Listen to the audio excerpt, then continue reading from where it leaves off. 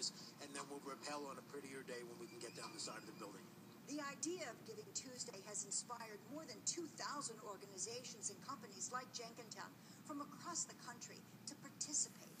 Here at the Conley House, one of the residents, Dion Stallworth, says that she's really grateful.